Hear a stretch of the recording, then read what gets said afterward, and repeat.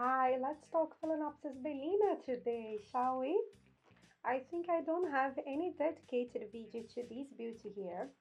And I decided to do it because it has never been as big, as healthy, as beautiful as it is now. And I'm sorry about the background noise, it's impossible, doesn't matter. What time I will film uh, if I'm here in the morning, in the evening, very early, very late. Have a noise over all the time. Yay! This plant is one of the crown favorites of many orchid collectors. It's a classic orchid, it's an statement orchid that people want to have in their collections.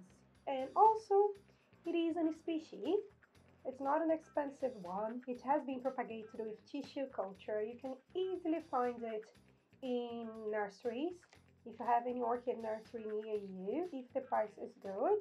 And if you do want to try it, I would advise you to because it is definitely a beauty. Not only it is a beauty, there are other things that are very, very interesting about this one and I'll explore them today with you. One of the reasons why a lot of people are crazy and really want to try one Bellina is because of its fragrance. It's impossible to talk about the Bellina and not talk about its scent or its fragrance. It's not the type of Phalaenopsis that will produce a cascade of beautiful flowers and a ton of them. You will have a short flower spike with a few flowers, but you can have multiple flower spikes, I think, with age and many more flowers than I have here. But I think the main feature, it is the fragrance. I have scent sensitivity. It's not any fragrance that I like. When it's very sweet, very strong, oh, I don't know. Most of the flowers fragrance, they are not for me. Usually talking, usually speaking, especially orchids like this one, very strong scent for me. Uh, this one, same. Sharry Baby, super strong. That's also not for me. This one, it is amazing. I don't know how to explain that. I know that fragrance is something that is individual to each person, but this one is so subtle. For me, it's not a very strong and powerful fragrance. It has some sort of citrusy to it, but it's like a floral and it is fresh. Doesn't get you, don't get sick with that. And why I'm talking about the fragrance first of all, because there are many research. If you look for Phalaenopsis bellina on Google Scholar, you're gonna find a ton of articles only about its fragrance, because apparently it has very complex components to it, the way that it's produced. And they've been trying to explore the genius because plants they produce fragrance and different types of fragrance according to the pollinators. So they need bees, flies, moths, they need them to come to the plant and to help the plant to pollinate them, to create seeds, you know, fruits, and to keep the species being propagated in the environment. So if you have a very successful fragrance, you attract more insects that will help you to be pollinated. So you're gonna have more plants in nature. That's one of the reasons why orchids, they became so successful in the environment and they were able to colonize so many different types of environment because not only some of them are extremely bright but also they have very strong different and complex fragrance that work very well to attract different type of pollinators. That's how they propagate in nature. And this one is definitely a beautiful gorgeous fragrance so if you want to try a fragrance, if you have some sensitivity, maybe if you have a friend that has the Bellina, sniff it, see if you like it. If you do, definitely get one because it won't disappoint you. Talking a little bit more about the plant, first of all, it is a Phalaenopsis. It's not a the type of ones that we buy in supermarkets. As I said before, it's a Polychilos. It's from Borneo in Asia.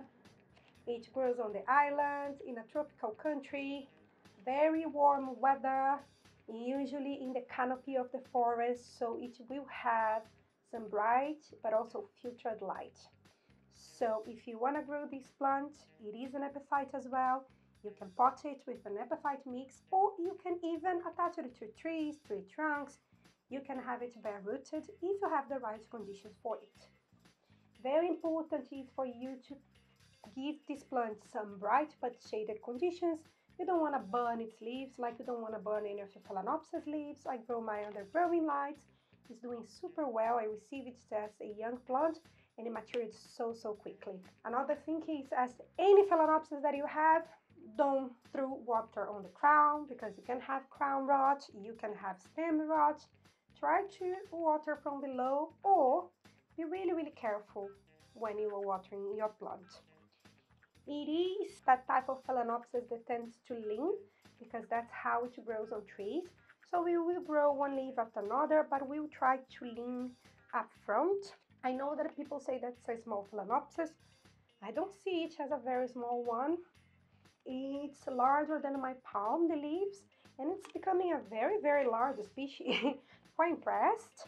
The leaves, they are shiny, glossy, very similar to other polychilos and they have a round shape to it. What people look for in this plant is that because it has its magenta center, magenta lip, and a whiter type of pale green background, it offers you a beautiful contrast and it has this type of, I don't know, star-shaped type of phalaenopsis with some glossy petals and sepals. Something different from this one to the other uh, phalaenopsis that we have in our home is that instead of when the flowers are gone, they are spent, don't cut the flower spike. It's very important for you to keep it while it's still green because it can rebranch and rebloom in the next season. Another thing is these ones, they don't need a drop down temperature to be able to bloom. Usually they will bloom for you when it's warm in Europe, especially where I live, they tend to bloom when it's summer. I don't have a very long summer. My autumn is quite cold, so that's why usually I don't have Phalaenopsis flowers for very, very long. I mean, Polychilos type Phalaenopsis flowers for a long time because the weather here can get pretty chilly pretty soon. But when it's warmer for me, it's when they will perform the best. More than that, it's a very easy to care Phalaenopsis each grows flower spikes like nothing. Is full of honeydew at the moment. It has two or three more buds that will open soon.